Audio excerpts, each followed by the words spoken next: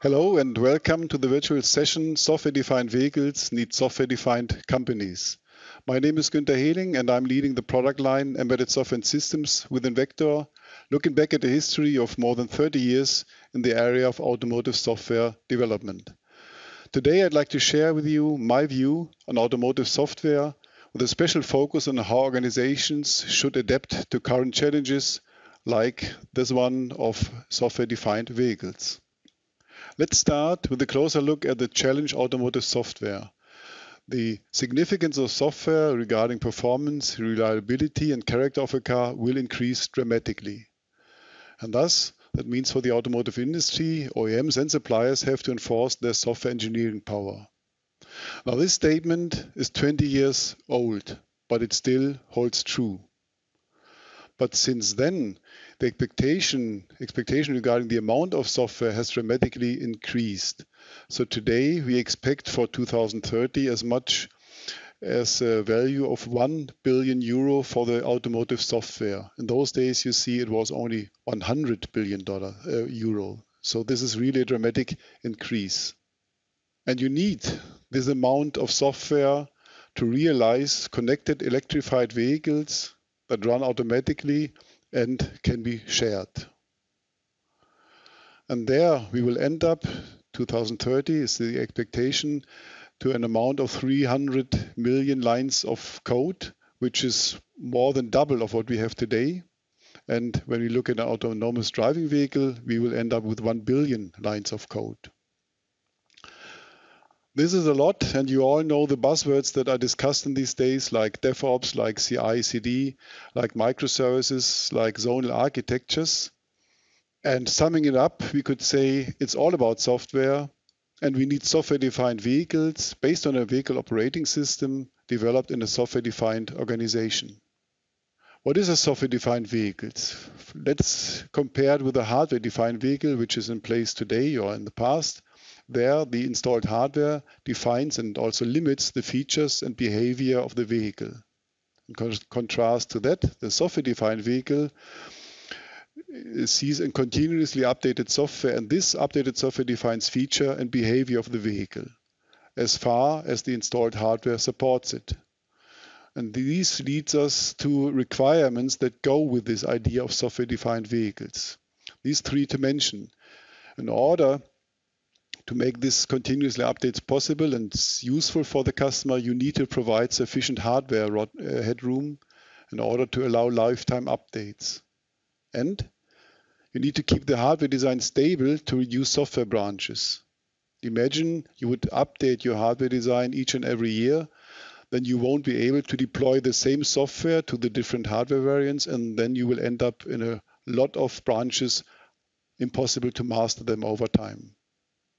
And you need to ensure a high degree of verification, automation, and of virtualization in order to be able to prove the compliance with all the regulations for all these software updates, regulations regarding safety, security, and other legal stipulations.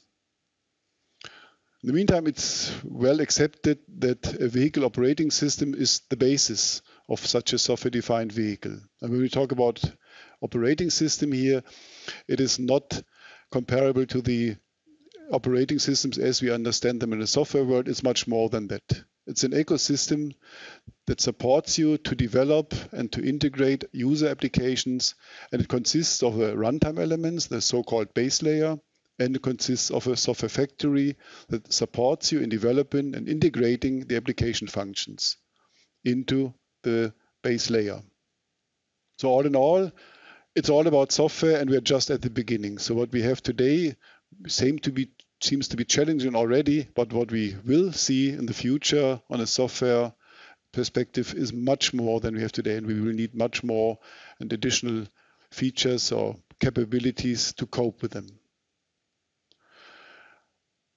In order to be able to develop the software, you need to define the scope and the vision for your software endeavor.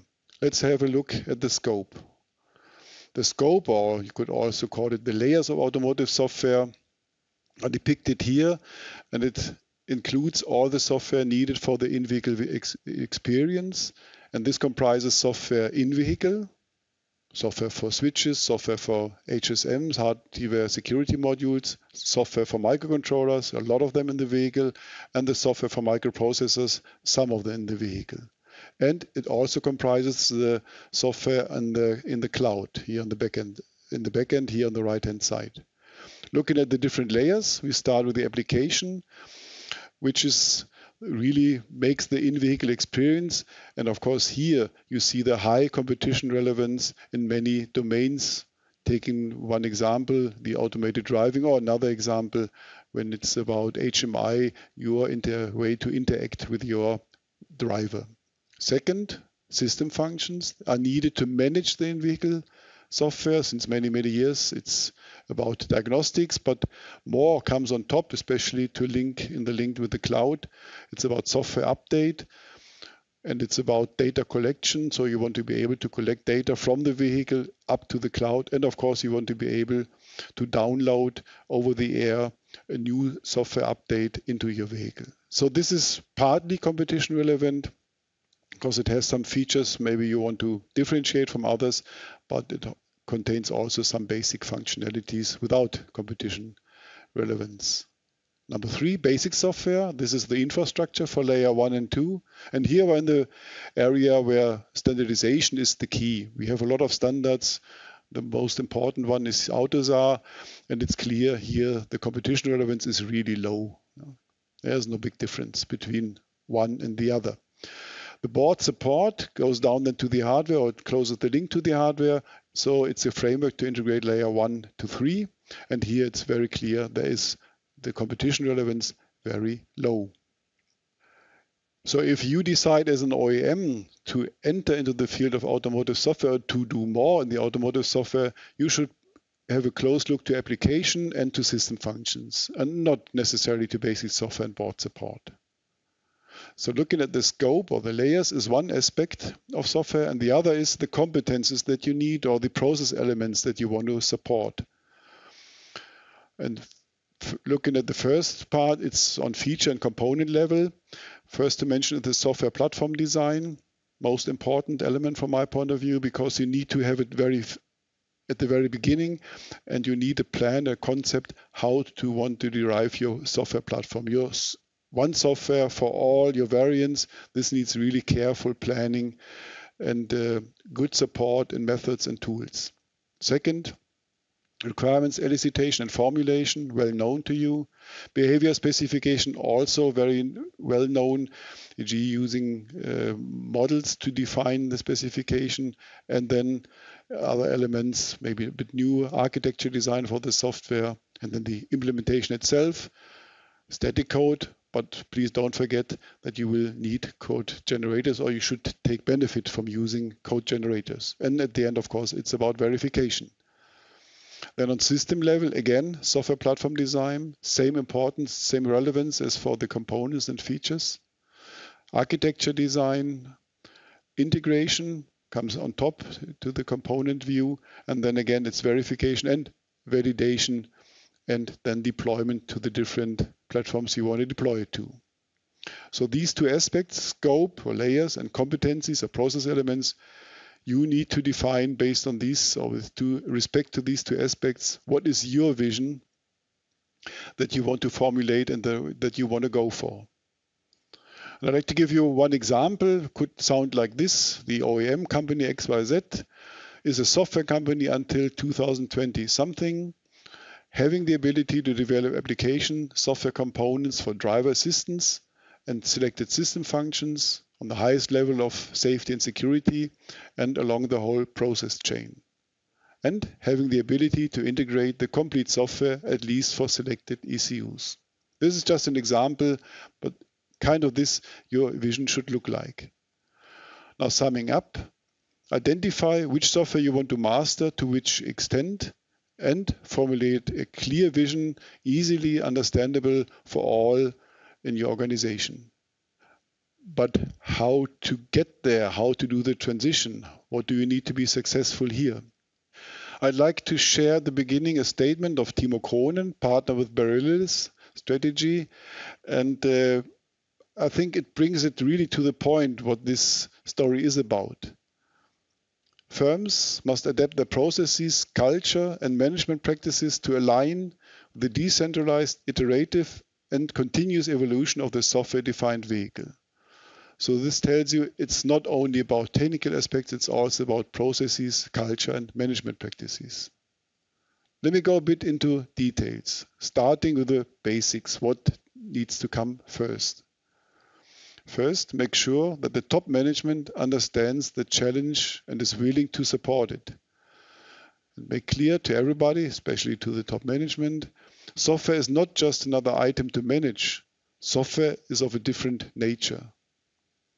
And patterns like try harder, work faster won't work to push the transition. Number two, define a stepwise approach and appropriate roadmap. You won't be able to do it in one step. Rather go for an evolution than a revolution and start with pilot projects that allow failures and delays. Number three, identify standards and existing software as a building block you want to use. Reuse is the key, otherwise you won't be able to develop this big amount of software. So you should concentrate yourself on the glue and on some differentiating features. And in addition to that, use whatever is available on the market. And then it's important identify partners to support your tour to the summit. You won't be able to do it alone. And please choose your partner carefully. You will have to accept a certain level of dependence in binding to long-term partners, but it's worth it. And looking at the picture on the right-hand side, you will be in kind of this situation on your way to the summit. And in this situation, you don't want to change your partner. You want to stick to the partner, and therefore, please at the very beginning select them very, very carefully.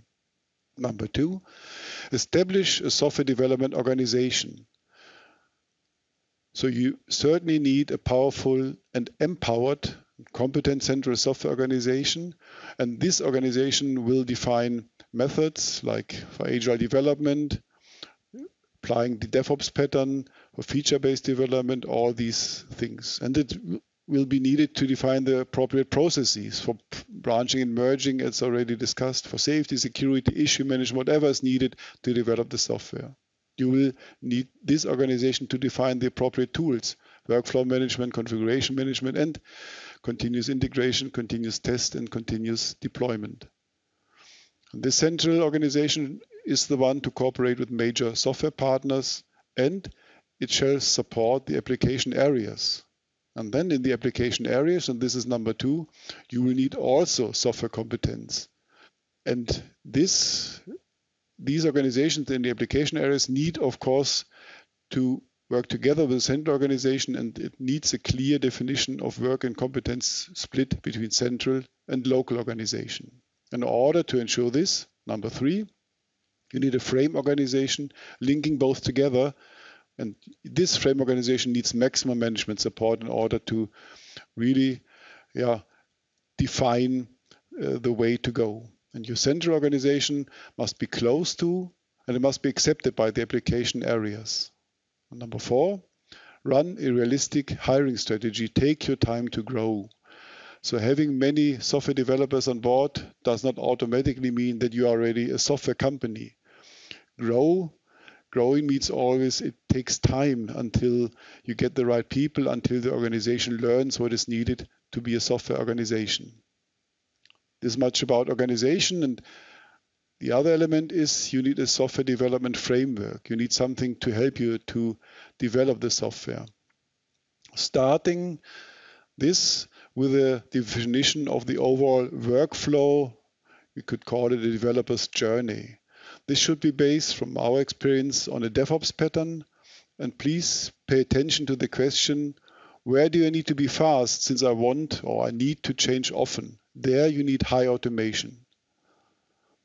Then select core tools. And uh, it's important to pay attention that these tools have proven excellence in large organizations. You won't be happy with a tool that is maybe able to work on a small project, you need it really for large organization, large projects with hundreds and thousands of engineers working to it. And these tools should have defined and standardized interfaces or and support exchange formats so you are able to allow extensions and integration of additional tools. Number three may sound a bit surprising. Align your processes to the tool capabilities. Former times, was rather the idea of first I define the methods, then I define the processes, and based on that, I define, select, or develop my tools. But today, as the tools are so powerful and there are so many around, we have made the experience it makes a lot of sense in many cases to turn it around. Start with the tools, select the core tools as mentioned, and then align your processes according to the tool capabilities and ensure, of course, that the different tools that you're using are linked together in a, in a, in a good way. Maybe some additional glue code may be needed. Number four, make sure you are able to change your processes fast. Be agile and uh, listen to the DevOps idea, which says everything is code. And this means you, you don't define processes for a long, long period. You need to be able, and everybody should be able to change processes in an easy way. So transition, make sure you have the right staff, also management, and define appropriate steps. Piloting is certainly essential. So far, I shared a lot of details with you, and now please let me close with two remarks I find so important to remember. First, understanding software needs time. An organization needs time to learn, so you will be able to pull the grass. Second, the real challenge is the maintenance of a software platform.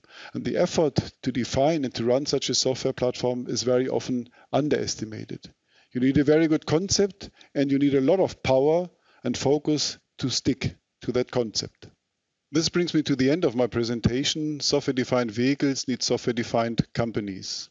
I hope I could convey valuable information for you how to define the appropriate scope and competencies for your way to a software-defined company and how you should plan your transition. Please don't forget, transition takes time and maintenance of a software platform is the key challenge. Now I'm looking forward to your questions and comments in the Q&A session. Thank you.